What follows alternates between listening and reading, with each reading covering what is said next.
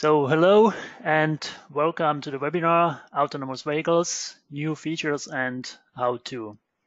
This webinar was prepared within the Coexist project and will show you the new features powered by Coexist and explain some additional details about how to model autonomous vehicles in Vissim.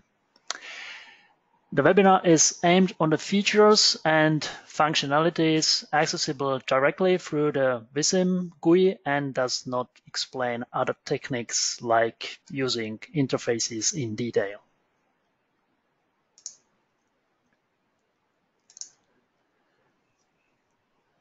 At the beginning, I want to mention two types of stochastics in PTV Vissim. The major part is focused on new AV-related features available since PTV Vissim 11. After that, I will present the proposed driving parameters for different AV driving logics.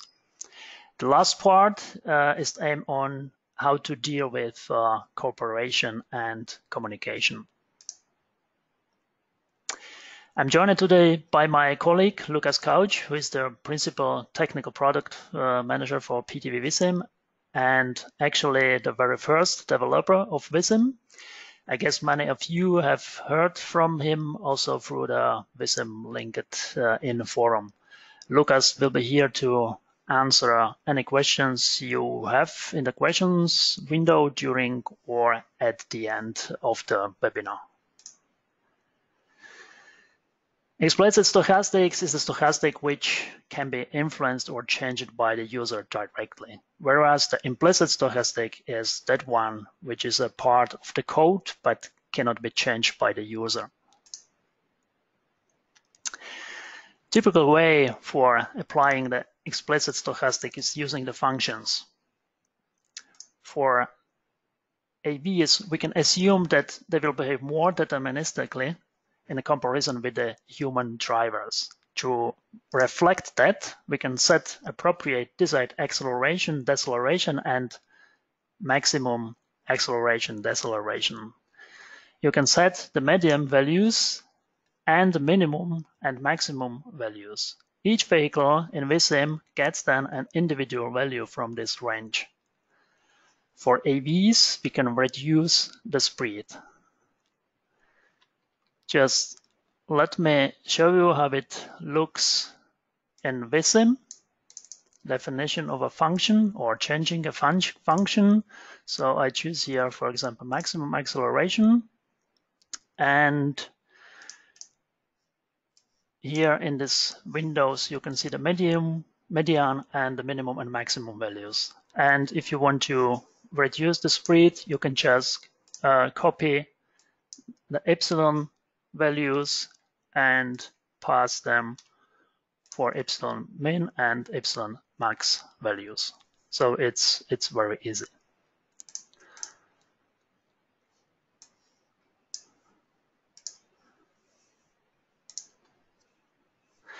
The second typical place to set explicit stochastic in Vissim are the distributions.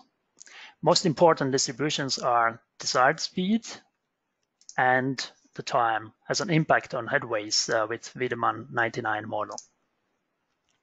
For example, for the desired speed, we can assume that the speed spread of AVs will be much smaller and they will obey the speed limits, what many hu human drivers do not do as we know. So distributions in Vissim you can find under base data distribution. And if you choose desired speed you can just choose one and uh, duplicate it. For example if you double click you will see the intermediate points here and you can just move them to reduce the number of them and you can change uh, the min and max value so again, it's um, very easy how to achieve that.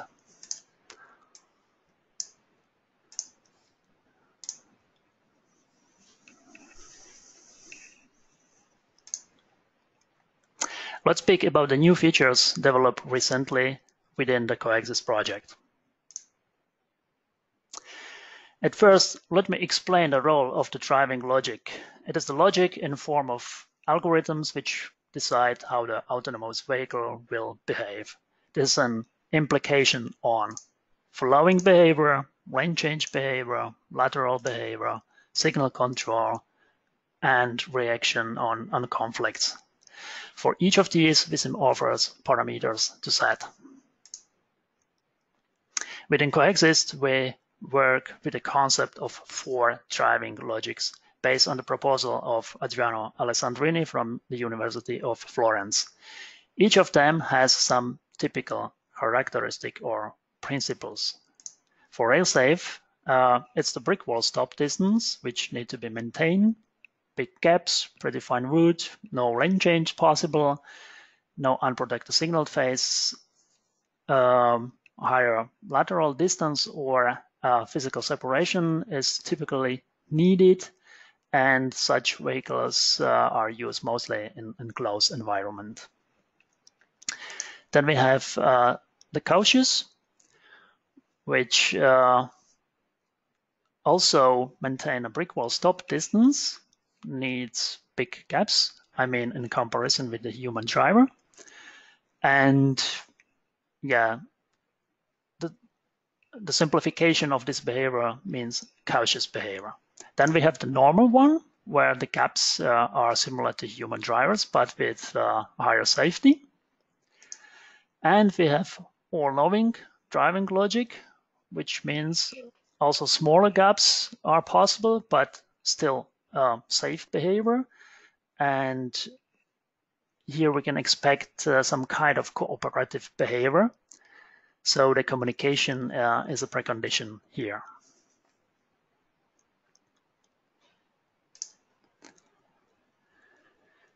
The first feature, enforce absolute braking distance. The idea behind is the vehicle can stop safely anytime without a crash, even if the leading vehicle stops instantly, which means turns into a brick wall. You remember in the previous slide I mentioned the brick wall stop distance concept as a characteristics of two first driving logic types, rail-safe and cautious. So for these, you need to use this feature. It has implications for following behavior.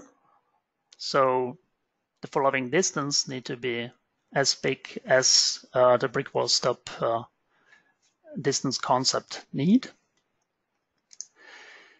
Also for lane change behavior, if a vehicle want to uh, change the lane in between two other vehicles, uh, the brick wall stop distance need to be maintained to both of them. And it has also an implication on, on a gap uh, on, on conflict area and on conflict resolution. Uh, the gap acceptance at intersection, but only if you use uh, the Vissim object uh, conflict area. Then the rear gap is the time to to, to brake uh, to full stop one meter in front of the conflict area. Let me show uh, an example I prepared for this feature. I see it right here. This is a very simple network. And I used here just two driving behaviors. For the first two links, I used the default urban uh, driving behavior. And for uh, the third and fourth one, I used changed uh, driving behavior. And the change here is that uh, I activated enforce absolute braking distance here. When I start uh, the simulation and I will pause it, then you can see here uh, these vehicles have a desired speed 50 meters and the, the difference between the default driving behavior and the changed uh, driving behavior with uh, enforced absolute braking distance uh, the difference is not uh, so big, but when you have a look here on these two links where the desired speed is much higher, it's uh, 100 kilometers per hour, then you can see a much larger distances uh, between uh, vehicles uh, during following process, and that's because the absolute braking distance is enforced in this case. So it has an implication on, on the capacity here. On the right side, you can see the number of vehicles passed through with, uh, with the same volume uh, for uh, set for the in, inputs. So this is easy way how to um, maintain absolute braking distance for a particular driving behavior.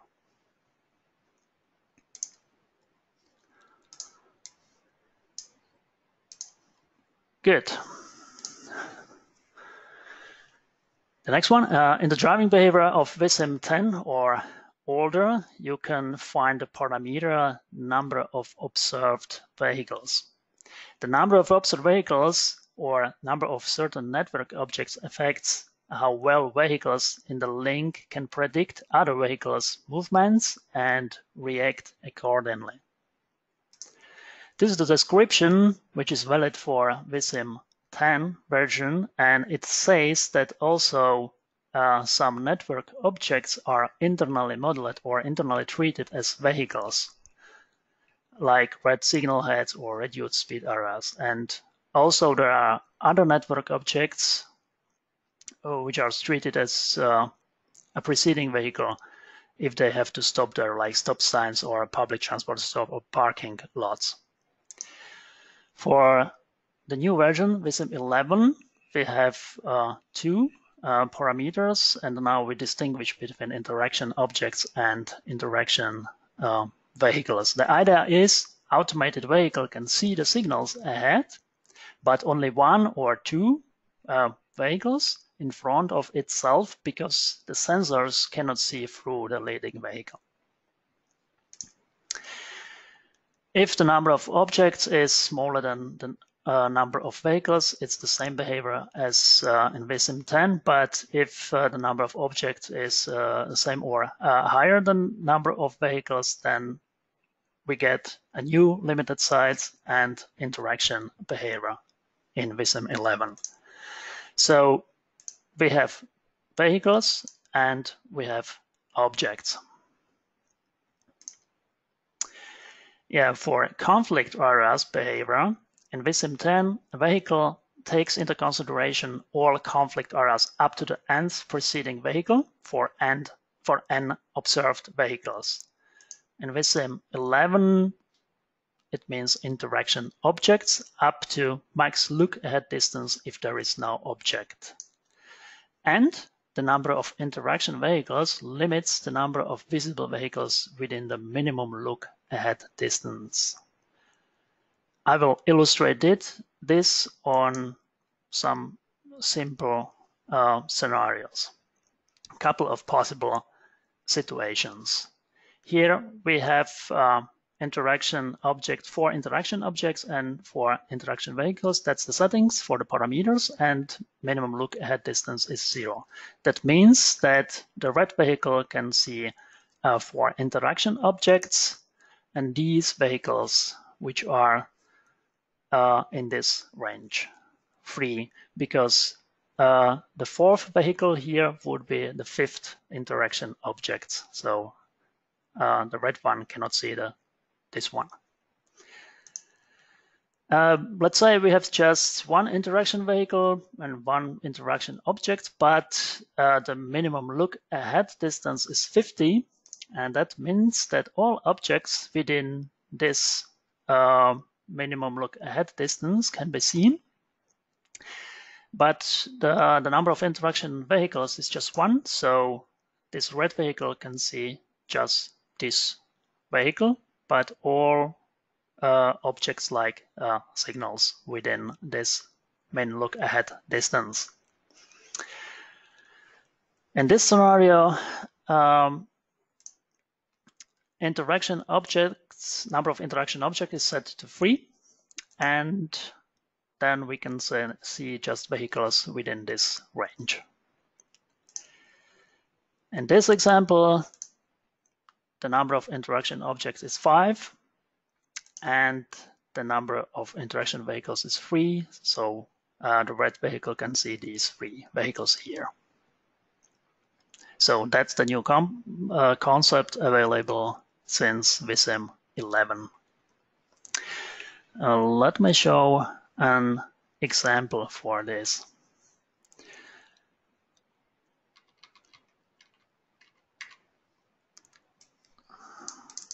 This one, I have a simple network here. And when I start the simulation, I will have a vehicle which will use this parking route here and park here in this parking lot in both uh, networks here. And then I have uh, another vehicle which will use this route and a third vehicle which will use this route. And it's the same in both networks. So when I start the simulation right now, uh, the vehicles are generated. And when I continue with the simulation, I can see the vehicle number one will park here in the parking lot. The same in the network here below. And here I can see in, on the main link, two vehicles are approaching this area. The first vehicle here, number three, and here number four, will turn right. So go, go this way. And the second vehicle, vehicle five, should go straight. But look here, there is a standing vehicle. Here uh, in the list of vehicles in the network, I can see the vehicle number five and the vehicle number six, and I can see interaction target type, which is a vehicle in the front, and interaction target number is three. So for vehicle number five, the interaction uh, target number is vehicle number three. And here for this one, for number six, the interaction target is vehicle number four. When I continue to simulate, then I will see a change here in interaction target number. So this number three here and in the list will change. So when I continue, now I see there is number one. That means for my vehicle number five, the interaction target now in this uh, time step is vehicle number one. That means this vehicle knows that there is a standing vehicle and can change the speed accordingly. But here below, I have the same situation, but this vehicle number six is still can still see just vehicle number four. I can see it here in the list that the interaction target number is four. And when I continue slowly, step by step in the simulation, what happens what happens here, number four goes to the right, and this vehicle got the information about this one, so the vehicle number two too late and was not able to decelerate on time. So there is a crash in this situation. In this network here, there is no crash because vehicle number five could see vehicle number one on time and can decelerate properly, so there is no crash. And the only difference in these two networks is uh, one change in the driving uh, behavior. So when I open uh, the list for driving behaviors here,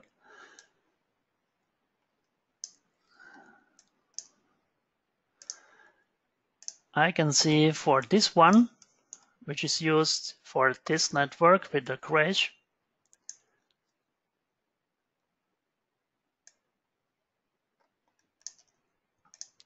I will open uh, this.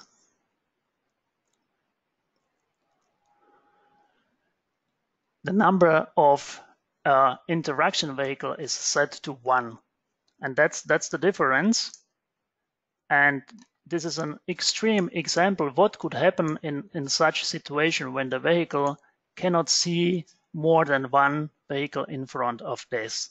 This is just for illustration how it works, but it it doesn't mean that it always means that it will crash, uh, it will comes to crash in Vissim, but it has influence on, on the results in the simulation.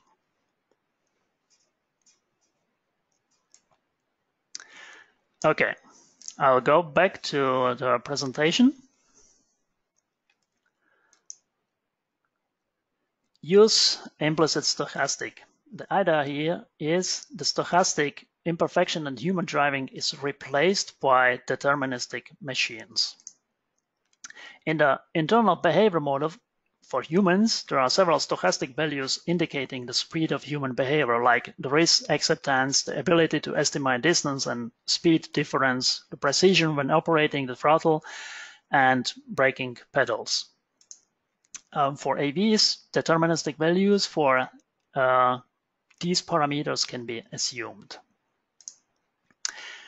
If the attribute use implicit stochastic is false, a deterministic average value is used instead of a such stochastically distributed value whenever the distribution cannot be set by uh, the Vissim user. This uh, option affects uh, desired safety distance, desired acceleration, desired deceleration, and decision points um, when that means when to start braking or accelerating. And for these here, uh, the user may also specify a distribution or a function, but these are not adjusted automatically. Only an implicit stochastic term is suppressed. And I prepared um, an example to, to show that, to demonstrate this.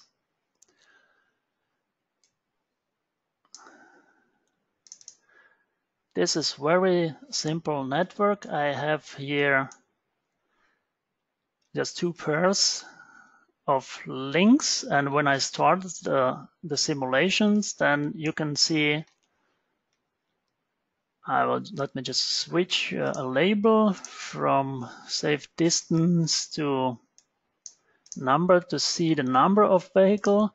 Actually, what I'm showing you the vehicle labels, that's also a new feature since Vissim 11. So now I can see uh, the vehicle numbers as labels. So I generated vehicles here and another vehicles here with uh, higher desired speed.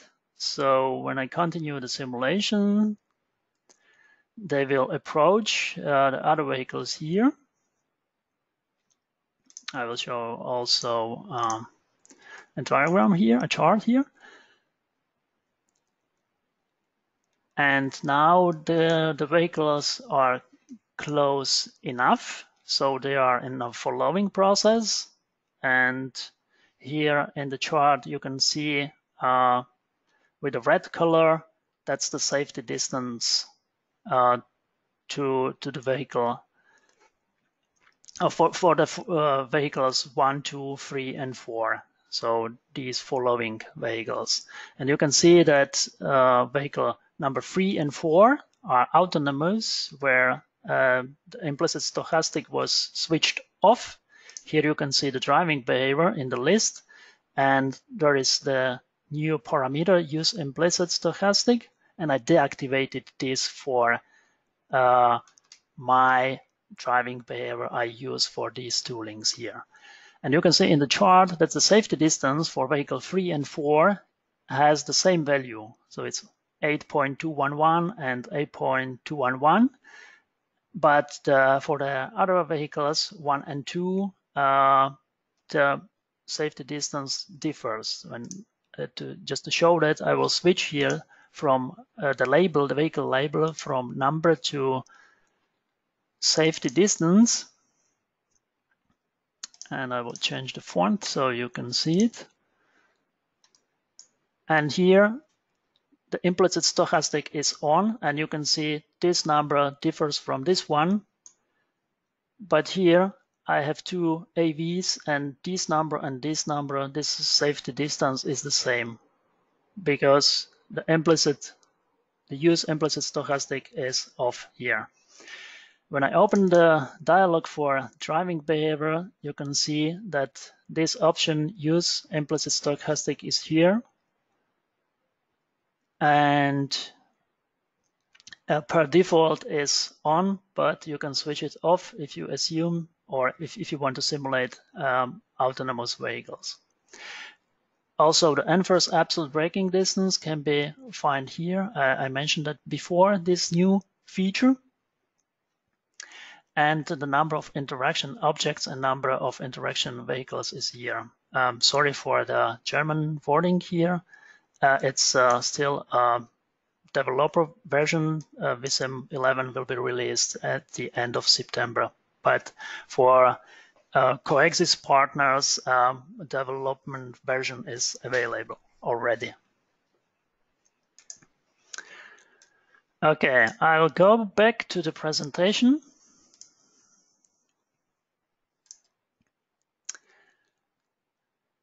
Increased acceleration. Um, the idea is AVs, especially if using car-to-car uh, -car communication, can use a tight coupling with small headways. The normal human acceleration behavior cannot use reliable information about the future behavior of the leading vehicle. That means normal vision vehicles or the conventional vehicle tend uh, to fall behind when the leading vehicle is accelerating. In order to allow vehicles to keep a small headway even during an acceleration process, there is a new parameter we call increased acceleration. This value defines a percentage, usually more than 100%, of the normal acceleration to be used when the leading vehicle is accelerating. The vehicle cannot exceed its maximum acceleration, which defines the technical limit, but it can exceed its desired acceleration in this situation. And this new parameter can be found in the list of driving uh, behavior and I will show that also directly in Vissim. So here I have the list of driving behaviors and I could, I can now uh, add uh, increased acceleration parameter into the list so I can see the value here and I can change it if that's appropriate for my model and for my assumptions. Uh, I also can specify this value for each vehicle class separately. So when I switch to vehicle class following behavior, and I will select here my AV behavior. Uh, I need to stop the simulation so I can use this plus button. And then I can have uh, several, several vehicle classes. And for each class, I can choose an appropriate value of this parameter. Um, in uh, in the next days, our developers should implement this also into Dialog, but at the moment it's possible just to, to change it, uh, to access it uh, in the list of driving behaviors. Okay, back to the presentation.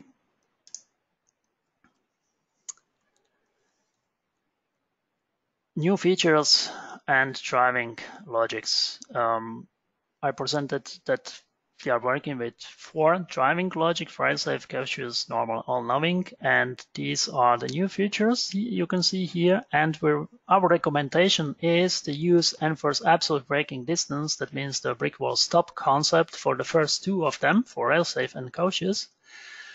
and you can uh, switch it off for normal and uh, all knowing or not activate it for normal and uh, all knowing uh, driving logic. For use implicit stochastic, we recommend to, to switch this for all driving logics uh, when you when you work uh, with automated vehicles. And regarding the number of interaction vehicles, um, our base recommendation is to use one for the first three and for all knowing uh, you can use more than one.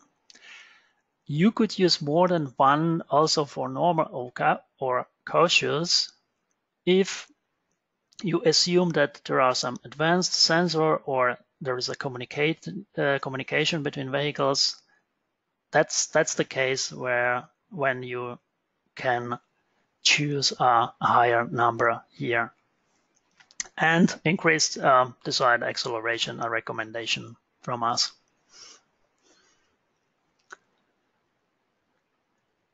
This recommendation was uh, is available for all CoEXist uh, partners and um, later it will be published also.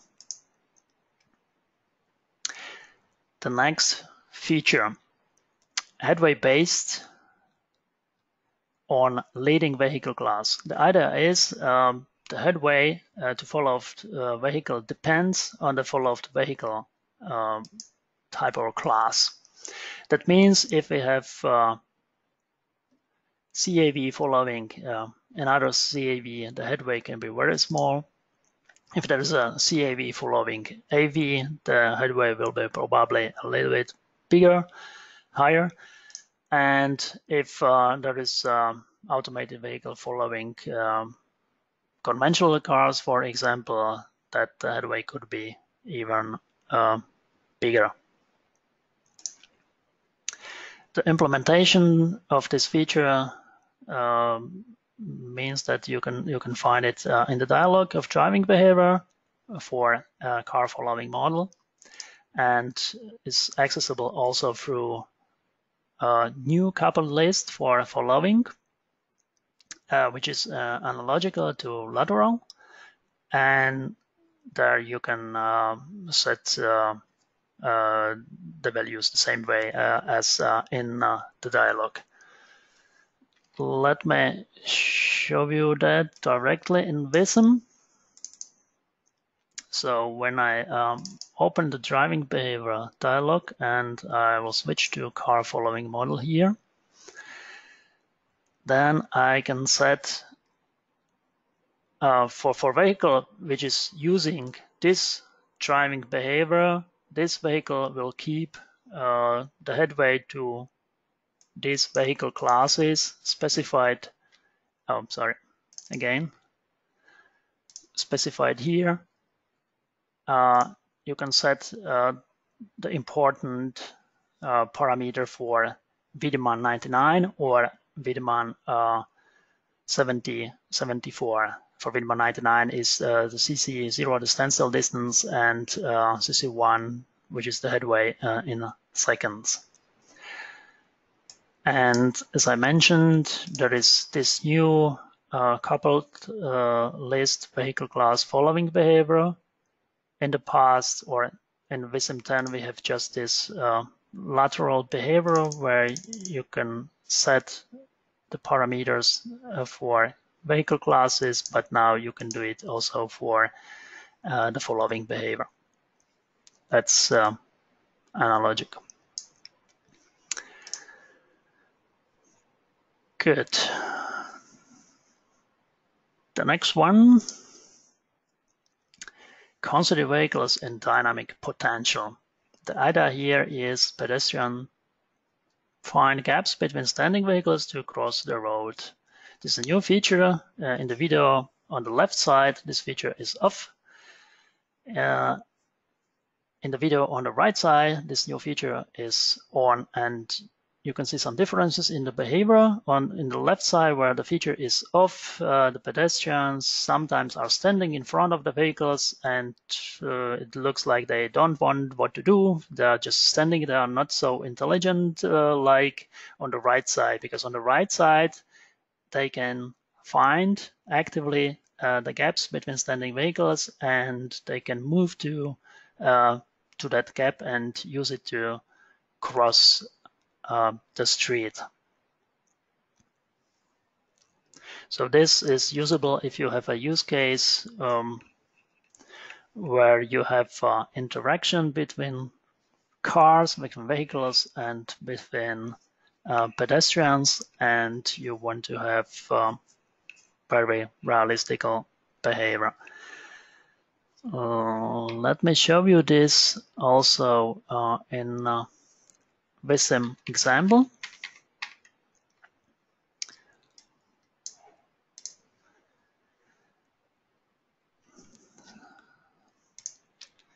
So this is the example you could see as a as a video. So when I start the simulation, the cars are driving uh, on these two links and pedestrians are moving from this triangle area to the another triangle area and also uh, the opposite direction.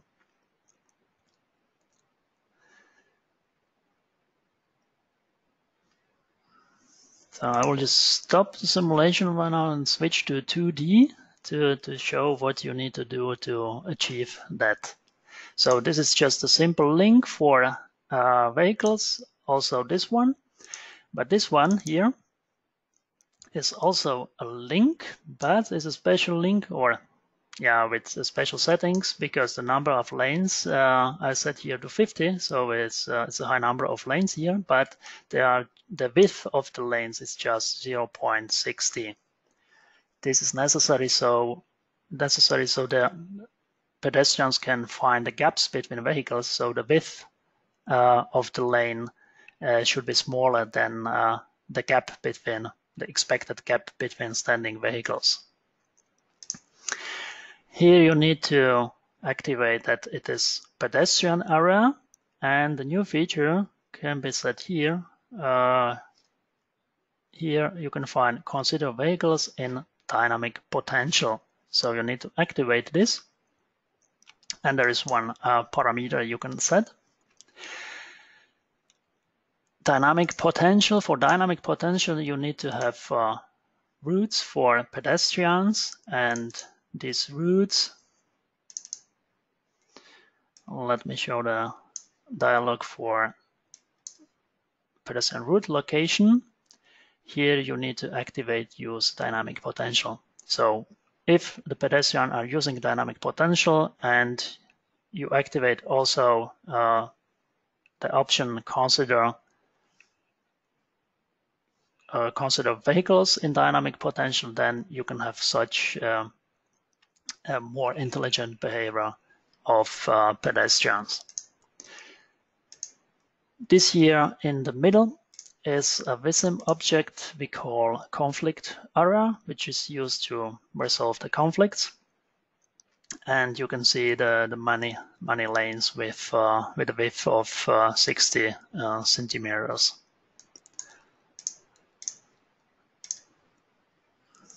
So when I run a simulation again a little bit with quick mode,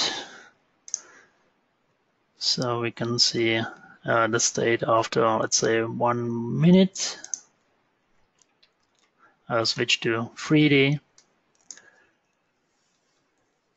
This is brand new, uh, but uh, again available uh, for you already, and uh, you can test it and uh, try also uh, another layouts where the pedestrians are not crossing directly, but with um, with some angle, let, us say, and um,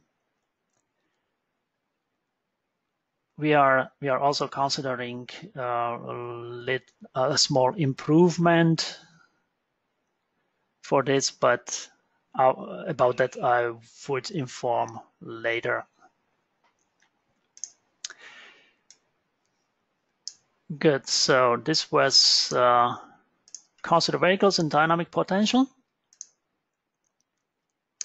The next feature we implemented is a small one, uh, the occupancy distribution, empirical one with uh, value zero is possible now, simply to allow empty trips for future autonomous uh, vehicles of level five, for example.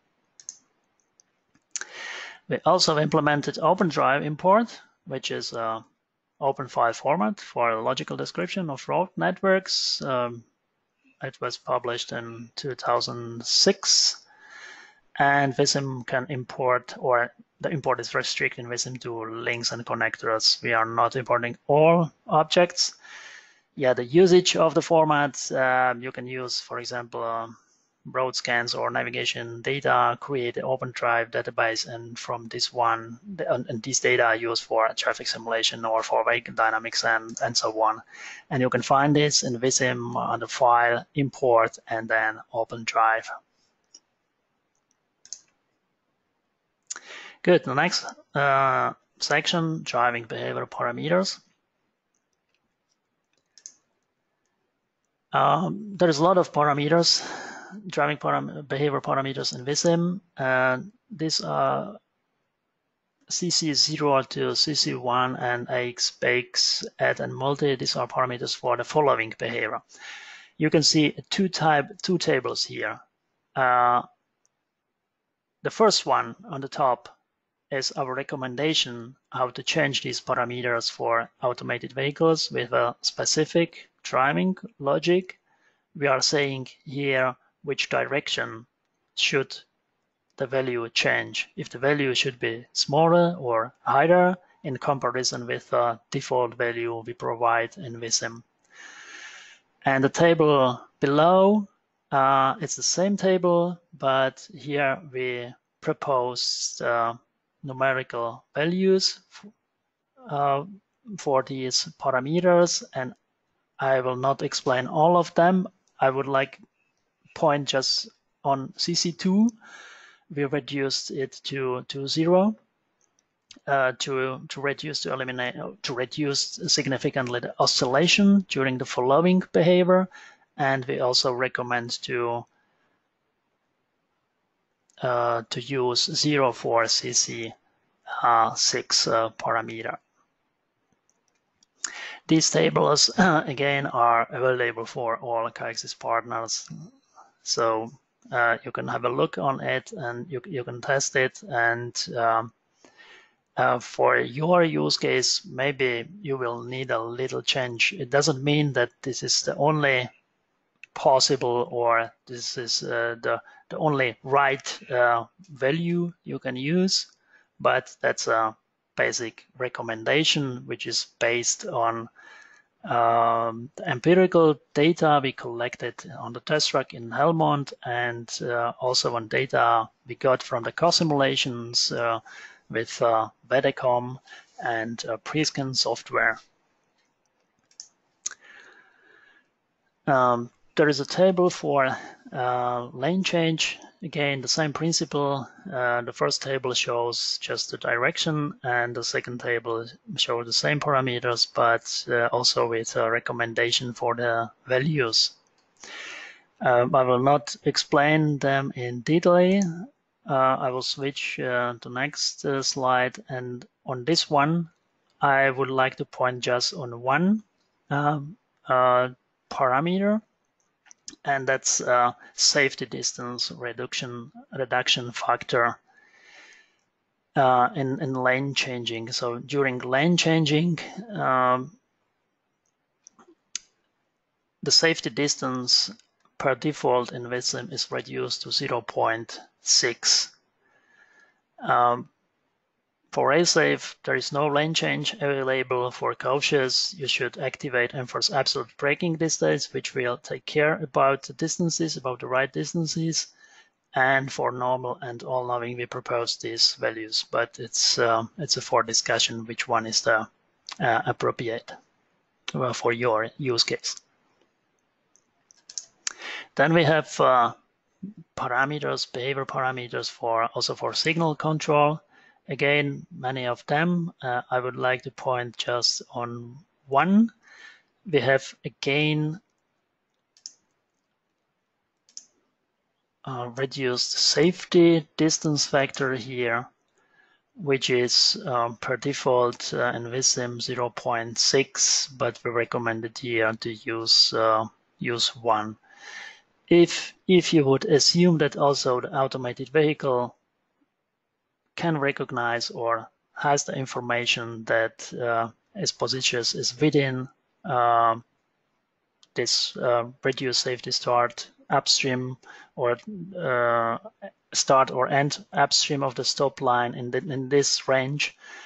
Uh, if if uh, if the vehicle can recognize that or has the information, then you could also use uh, another value than one.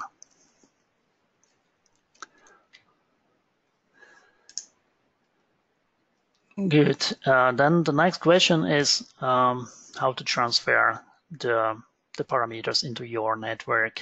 Um, PDB there is uh, there is uh, a file base network available, and this contains all recommended values for cautious normal and all-knowing driving logic.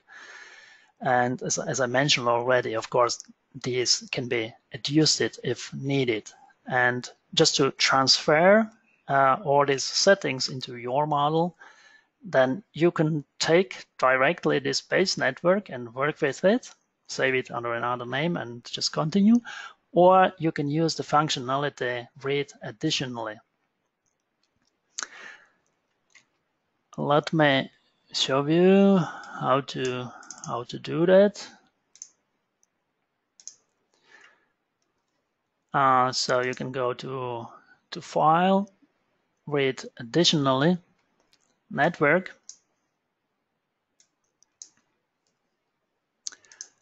Then you need to select the, the base network I mentioned. It opens this window read additionally. Here you can mark none for reading.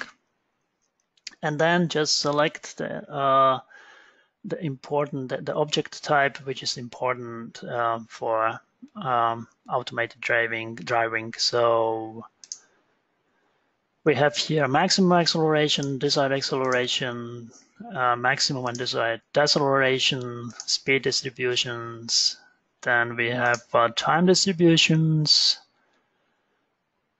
We also can take uh, model distributions. Vehicle types and classes are important, and of course, driving behaviors. So these we need, I think I didn't forget some. So, and now when I open the driving behavior, the list for driving behaviors, I can see here these three new driving behaviors. I, I, I read it from the base network. And now they are here and I can work uh, with uh, them. So I could go to the link behavior types and for this one, when if I want to use this one for a particular link, then I can here in the coupled window for driving behaviors speci specify I can specify here for all my vehicle classes which are available here uh, after the additional uh, reading and I can specify here appropriate driving behavior for this particular vehicle class. I mentioned also uh, functions and distributions. So when I open this one, I can see here this car AV and HGV AV. These are the new one I uh, transferred from the base network and also, for example, desired speed. Um, you can see here the comparison. This is the default one we have in Vissim with a higher speed of speeds and this is the new one what you could assume for your automated car when you assume that uh, the car wants to drive to exactly 130 or just with a with a small, very small uh, spread. So file, read additionally network, then select the, the base network and uh, read all the objects uh, and use it in your network. Okay, cooperation and communication, how to deal with that? Um, there are two important questions at the beginning. Uh, the first one, what is the impact of a communication cooperation? I should answer this, this, this question. And then the second one, the following one, can I replicate expected behavior with uh, standard PTV Vissim or do I need an interface? I also need to answer this question. And if the answer is that I need interface, then these are available. The COM, which allows to read and cite attributes of Vissim objects or to manipulate them. This is usable for uh, vehicle-to-vehicle -vehicle or vehicle-to-infrastructure communication, for example, for platooning or time-slot-based intersection control. Examples are available within the, the Vissim installation under examples training autonomous vehicles. Then you have uh, interface driver mode DLL, which replace internal car following behavior model of Vissim by own algorithm. The following behavior. And optionally, you can also use own algorithm for the lane changing and own algorithm for reaction on signals. Then we have driving simulator DLL interface. You can couple own control algorithm, full behavior with Vissim plus optional integration. You can you can optionally integrate also the vehicle dynamics sensors. Uh, in that case, uh, we uh, we can talk about nano simulation and third-party software like Prescan CarMaker and others can be coupled with Vissim, and then you can uh, do car simulations. Materials for interfaces if you need more information, more details, where to find these.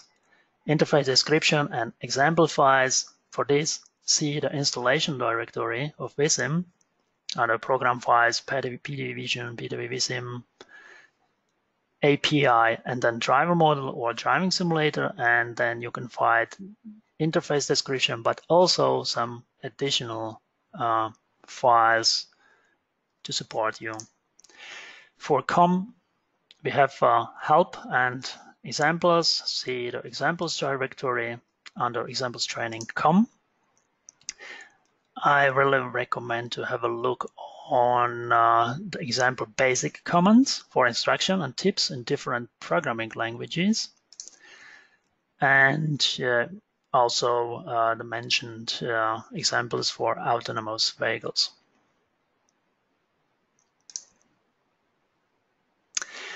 Thank you very much for your attention.